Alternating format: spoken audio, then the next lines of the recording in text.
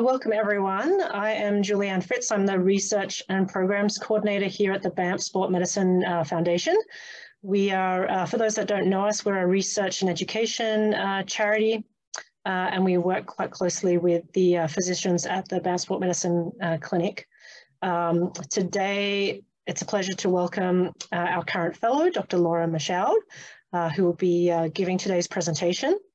so Dr. Michaud pre previously completed um, her orthopedic surgery residency at Queen's University in Kingston, Ontario, followed by a fellowship in trauma at Dalhousie University in uh, Halifax, Nova Scotia, prior to joining us uh, here um, at Banff Sport Med.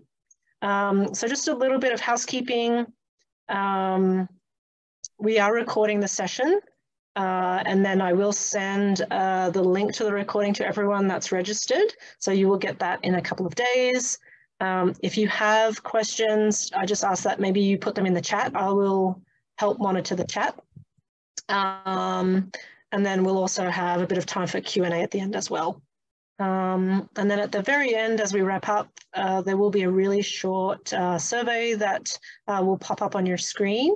Uh, and I just ask that you take a couple of minutes just to uh, fill that out just so we can get some feedback about future topics, um, things like that that you might uh, like uh, to see from us. Uh, so with that, I'm going to hand it over to Laura. Um, and welcome, Laura. Thank you, everyone. Thank you. Um, so I'm Laura. Um, so my talk is on shoulder instability. Um, sorry, just trying to figure out how this, there we go. Um, so my objectives, we're first going to just talk about a generalized management and treatment of just shoulder instability, and then go into anterior, posterior, and the multi-directional instability. So as we know, um, the glenohumeral joint is the most commonly traumatic dislocated joint. The incidence ranges from 11 to 23%, which is pretty wide. Um, and this is due to minimal bony restrictions, and that gives the glenohumeral joint max mobility, but stability relies on the complex interplay between bony and soft tissue stabilizers of the shoulder. So diagnosis is what you usually start with. Uh, so on your history, you want to know your mechanism of injury, whether it's high versus a low in uh, energy injury. You want the position of, of the upper arm at the time of injury. You want any previous instability events, or was this their first dislocation? Um, what range of motion that that instability occurs in, and the activity level in sport and in work. So, are they a high competitive athlete? Uh, do they do overhead activities for work? It's important to know. On physical exam, uh, we go through inspections. So you want to expect both shoulders, range of motion of both shoulders, uh, strength, including rotator cuff, and neurovascular testing. And then we go into special tests. So, what are the special tests for shoulder instability? Um, anteriorly, uh, for an anterior instability patient, you want to do an anterior apprehension, you want to do a relocation test, you want to do an anterior drawer test and a load and shift. Inferior, you might get the sulcus sign or do the Gagey test. And posteriorly, there's the posterior apprehension, load and shift test, and then the Kim and jerk test. Uh, this is just a comprehensive review of all the instability physical exam test and their sensitivity and specificity. As you see, there's a wide range. Um, for Beighton score, it's important to do in every patient. Um, uh, just to find out the generalized ligament laxity. Uh, so it's a score out of nine, and you test five things. So your apprehension, or sorry, opposition of thumb to forearm, and you get two points for one being the right and the left. Extension of your fifth finger beyond 90 degrees, again, two points left and right.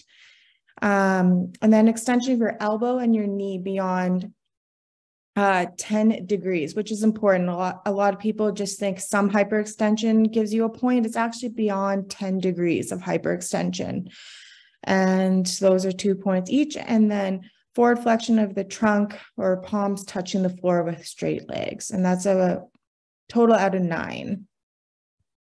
A load and shift test, um, measures the translation and how much translation anterior or posteriorly the glenohumeral joint has, and it's graded from one, two, and three. The apprehension and relocation test can be done either supine or upright.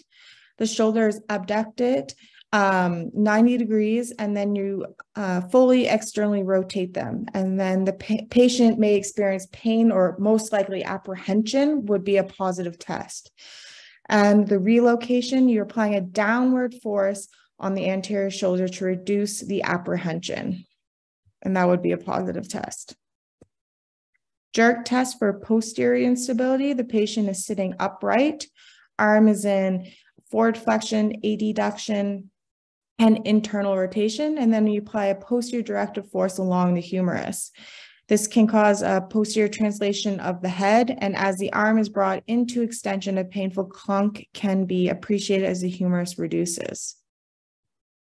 The Kim test, um, the patient is upright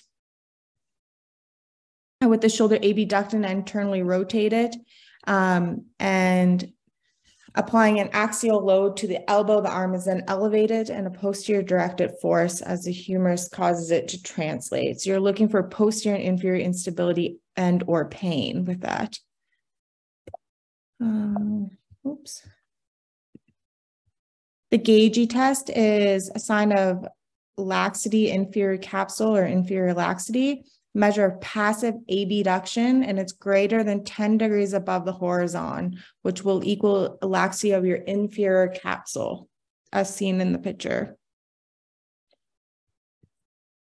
Sulcus, so another sign of inferior instability, uh, testing your inferior capsule and your rotator uh, interval.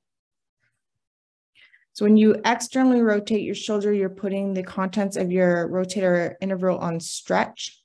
Therefore, if the sulcus sign is still persistent in uh, external rotation, you know there's a deficiency in your rotator interval, not just the inferior capsule.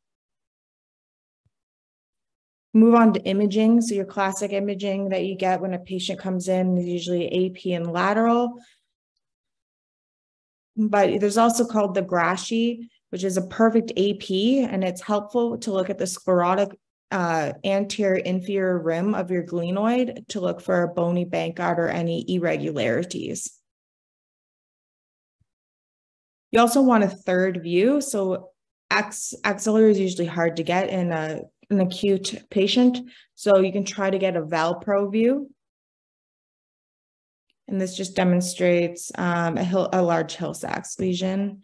And here it demonstrates, a, as you can see, um, down below in the right hand corner, you can see the, the uh, avulsion fracture of the glenoid or a bony Bankart. So these two imaging views are good for seeing either Hill-Sachs or Bankart. So one in the right hand bottom corner is a Stryker view.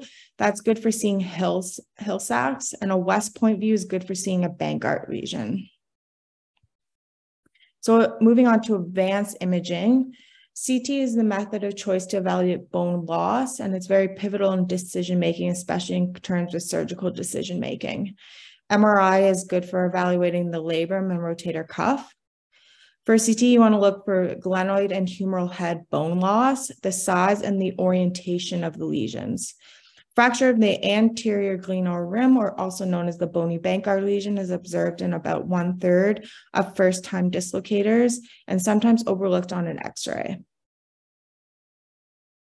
Anterior instability. So, this is the most con common form of shoulder instability, most often due to a traumatic injury with the shoulder and abduction and externally rotated. A traumatic instability can develop with ligamentous laxity patients or after repetitive microtrauma such as overhead athletes. And these patients will present with anterior shoulder pain and a sensation of transient instability. Associated injuries. So with anterior instability, you can get a Bankart lesion, whether that is just the inferior anterior labrum or a bony Bankart, which is a piece of the glenoid that fractures with it. Um, humeral avulsion of the glenohumeral ligament or HAGL lesion occurs in patients slightly older and those with Bankart lesions. Uh, a GLAD lesion is a glenoid labral articular defect. It is a sheared off portion of articular cartilage along with the labrum. You can also get an ALPSA lesion in anterior labral periosteal sleeve avulsion. You can get fracture and a Hill-Sachs lesion. So this just demonstrates the mechanism of traumatic anterior dislocation. As you can see, there's a large posterior lateral head defect, which represents a Hill-Sachs, and then the Bankart lesion you can either get tearing of the anterior inferior capsulolabral injury or a piece of a glenoid avulsion fracture. So that's the bony Bankart is a piece of bone that comes with it versus just the labrum, which is just a Bankart lesion. Hill-Sachs lesion is a compression fracture on the posterior lateral humeral head created by impaction of the head onto the glenoid rim. And up to 90% of first time uh, dislocations, they're often small. And in recurrent dislocators, the prevalence and size is often greater. This just demonstrates associated injuries and that it's usually a bipolar lesion, meaning that most patients have either small Hill-Sachs and a glenoid um, injury. And that helps us with our management. So if the patient has a bipolar lesion, they need to determine their engagement. And this can be done by determining the contact area between the humerus and the glenoid.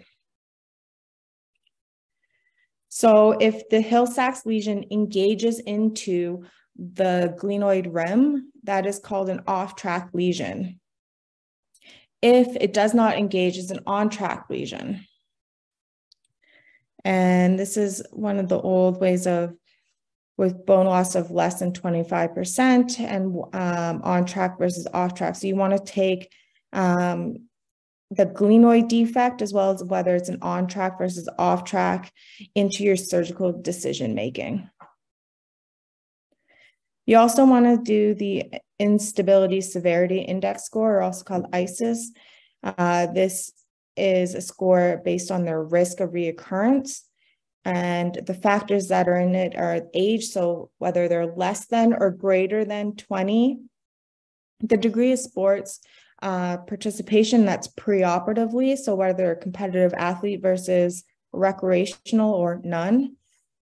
Type of sport preoperatively, whether they're contact or forced overhead.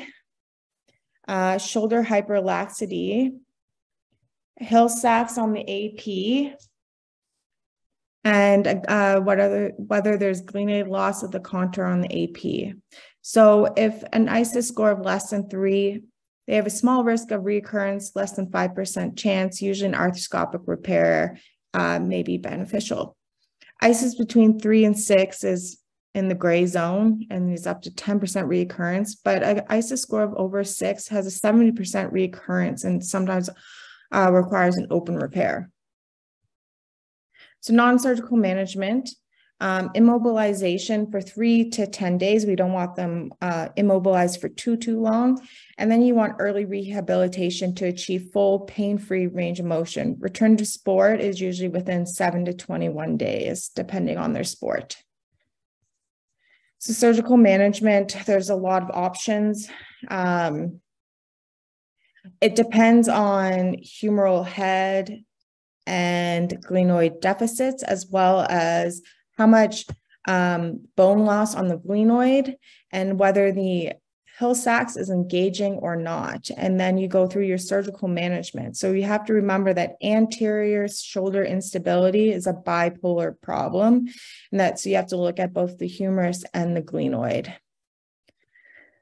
More recent studies show that actually the most more significant bone loss or greater uh, bone loss on the glenoid is actually around 13.5. So between zero and 13.5% glenoid bone loss um, is usually an arthroscopic repair.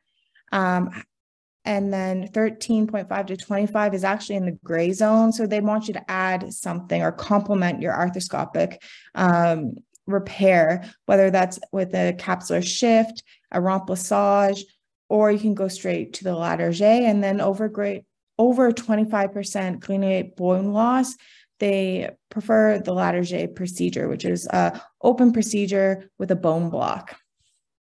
And again, you need to take in consideration whether it's an on-track versus off-track Hill-Sachs lesion. Post-operative rehab, uh, the first six weeks, first three to six weeks, uh, depending if it's open versus arthroscopically, um, of immobilization in a sling. Rehabilitation starts with passive and then active assistant range of motion with physiotherapy. After about four to six weeks, they can start initiating strengthening exercise program, focusing on your rotator cuff and scapula uh, stabilizers, and then return to work and sport is around four to six months, depending on what they do for work and sport. So overall, careful patient selection is key to a favorable outcome for traumatic anterior shoulder instability. After a first time anterior shoulder dislocation, non-surgical treatment with a short period of immobilization is recommended. Primary shoulder stabilization should be considered though for patients with high risk of recurrence or for elite athletes. And the amount of glenal bone loss and type of bone loss, whether it's an on track versus an off track lesion, are important factors when recommending treatment strategies. Now, posterior instability. Uh, posterior, so posterior instability is posterior translation of your humeral head relative to the glenoid. It's often can be from a small subluxations to an overt dislocation.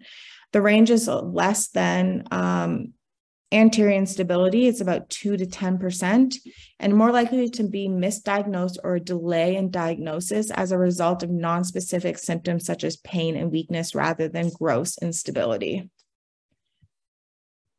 So posterior instability versus anterior instability, the most important thing to remember is the clinical presentation. So this was a study done matched cohort examining both anterior and posterior and their presenting sy symptoms and pain being 88% in the posterior, which is far outweighs uh, a dislocation event or instability symptoms. So pain is your is your key, especially posterior pain for a posterior dislocation. So history of posterior instability, classic picture of repetitive microtrauma or posterior directed force, such as weightlifters or a lineman. Uh, less commonly acute posterior uh, shoulder dislocations are seizure, electrocautery or electrocution, sorry, and a dashboard injury. So history of posterior instability, you want to get your images and classically your image would be the light bulb sign on x-ray. And that gives you a hint that there is a posterior dislocation. Associated lesions of posterior instability. Um, so you can get an involution of your posterior band of your inferior glenohumeral ligament. You get a posterior Bankart lesion, um, a reverse Hill-Sachs lesion. You can also get posterior labral cyst, which is representative or associated more with a chronic lesion. Uh, posterior glenohumeral rim fracture, a lesser tuberosity fracture, and a large capsular pouch also associated with chronic posterior instability. And again, just going over special test, posterior apprehension, load and shift, Kim and jerk test are the uh, posterior instability tests. So treatment, initially managed conservatively, um, so activity modification, sling, physical therapy to improve scapular um, thoracic uh, mechanics and strengthening of dynamic shoulder stabilizers. Risk factors for recurrent instability, for posterior instability, their first dislocation before age 40, whether it was a seizure, seizure that uh, provoked the instability event, a large reverse Hill-Sachs lesion or glenoid retroversion. So abnormal anatomy, usually that retroversion uh, should be, um, the risk factor would be greater than 10 degrees. Uh, this was, I believe, a Canadian study. So non-operative management of posterior shoulder instability and what are the long-term clinical outcomes. So posterior uh, shoulder instability managed non-operatively had only an eight um, percent chance of rate of recurrent instability and 8% rate of progression to osteoarthritis. Um, however, they found that 46% of patients demonstrated an improvement in pain, 35 while only 35 had the same level of pain. So they concluded that non-op management is a viable treatment option for many patients with posterior uh, instability, um, although those presenting with pain are less likely to have a significant improvement in pain long term.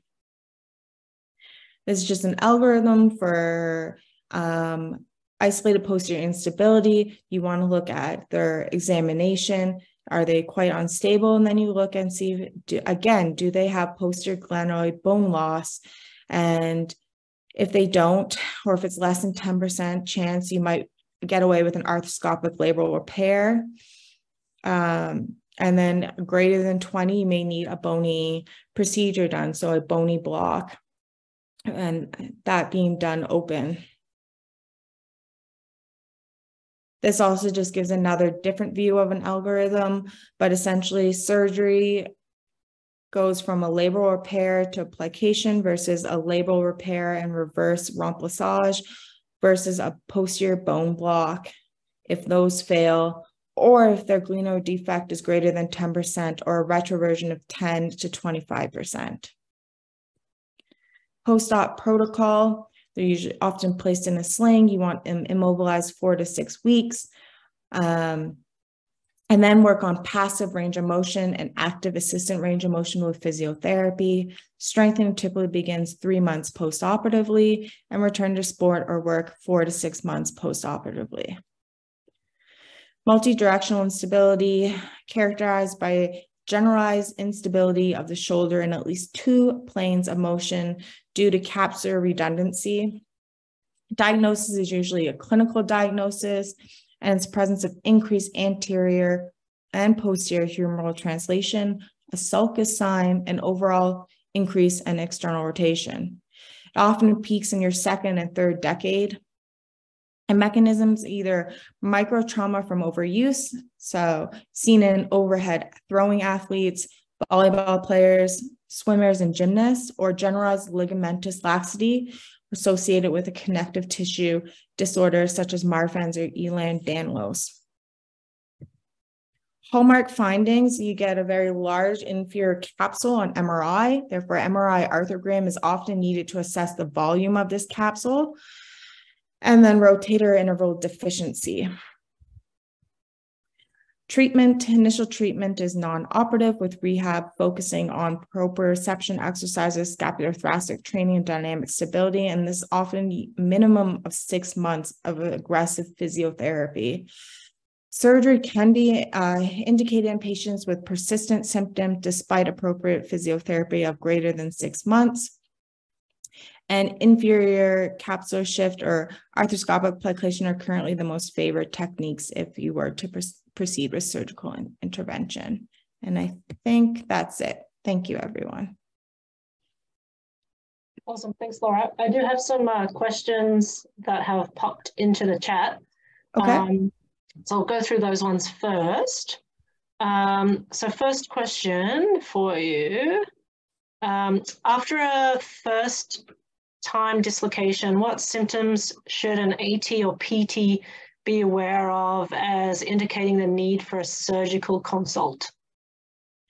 Uh, we want to give them at least three months of physiotherapy um, in a first time dislocator. Um, and then persistent symptoms, it depends. Uh, so, ongoing instability, so subluxations, does it come out when they're sleeping?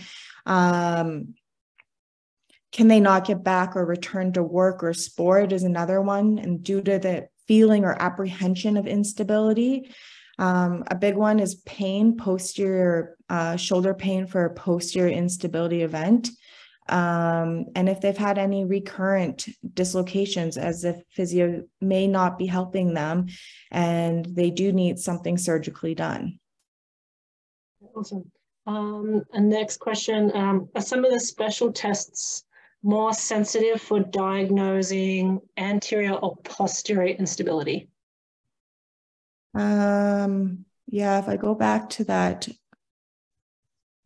slide. I think Kim's test is the best for posterior, but anterior, I believe, is the um, apprehension and relocation, which kind of go hand in hand. Um, and then do some risk factors indicate the need for sooner surgery? Um, they can be, yeah, especially if they have tried physiotherapy and um, just not getting anywhere with conservative management. And they do have the high risk factors, yes. And if they're a high competitive athlete um, with high risk factors, you may just go on to surgery. Okay, when you're referring to risk, those high risk factors, you're referring to all of them, or are there just specific ones other than being a competitive athlete?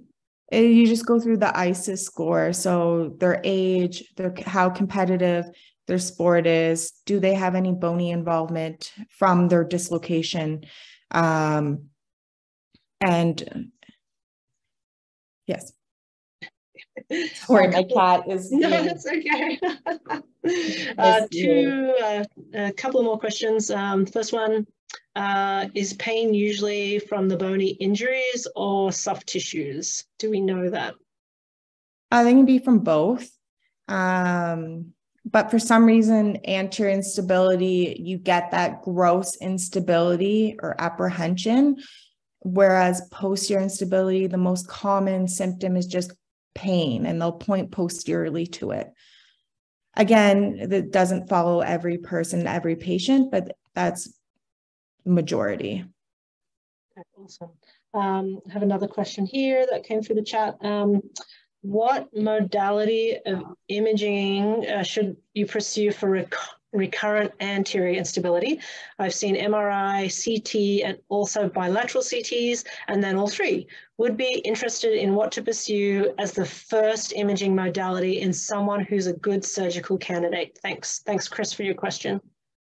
Thanks. Um, yeah, I think CT is the most valuable, uh, especially in recurrent instability, because it, it takes a look at both the glenoid and the humor, the sorry, the humeral head, and it takes a look at how big that Hill-Sachs lesion is. It also gives the orientation of where that Hill-Sachs lesion might be. It also takes uh, into account how big the um, the glenoid rim fracture is, and that helps us with surgical management in terms of thinking what what surgery we would do.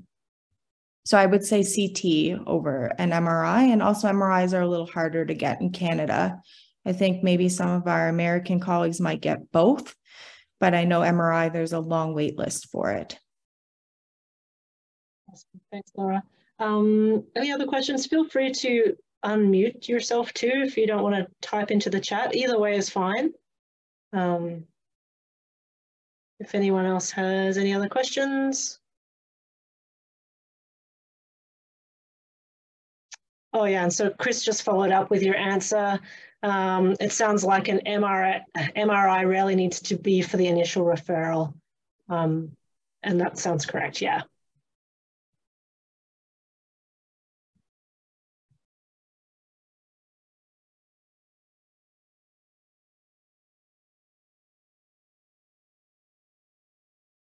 Uh, anyone, any other questions out there? Oh, okay. Yeah, one question. Another question. Um, when is the Latarjet uh, needed? So Latarjet is needed. Let me find it. Let me see if I can find that slide. When you have a significant bone loss on the glenoid rim, so traditionally it was around between 20 and 25% loss of, glen, of the glenoid bone loss. However, recent studies have showed that there may be a more significant uh, bone loss, meaning that gray zone between 13.5% and 20% or 25% um, may need a bony procedure. And then you have to take in consideration whether it's an on track versus an off track lesion. And if it's an off track lesion, you need to decide whether you do add a remplissage and an arthroscopic uh, labral repair. And that's dependent on how much bone loss there is as well. So the greater the bone loss, the more need that you need a Latarjet. Um, and also in revision. So in a revision case, if you've done a labral repair prior and they are a recurrent dislocator, um, the next step would go to a more bony procedure. As yeah, so you typically recommend it uh, for a revision where there's significant bony bony loss. Pardon? Uh, uh, primarily recommended for more significant bony loss and for revisions. Correct. Yeah.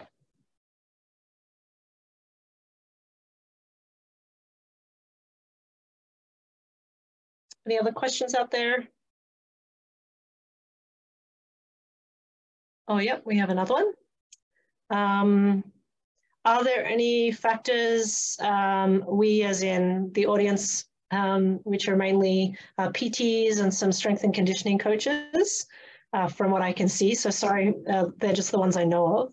Um, so are there any factors we can consider for prevention of shoulder instability injuries? such as ratio of internal to external rotation strength, T-spine range of motion restrictions, or movement pattern deficiencies? Um, I would just think generalized stability of your rotator cuff and your periscapular muscles and just being well conditioned um, high traumatic event we're not going to prevent, but in the low injury or multi directional instability, we can help prevent with good conditioning. Awesome. And then Chelsea just followed up with a thank you. Thanks, Laura. No problem. Um, any other questions out there? Or Dr. Michaud?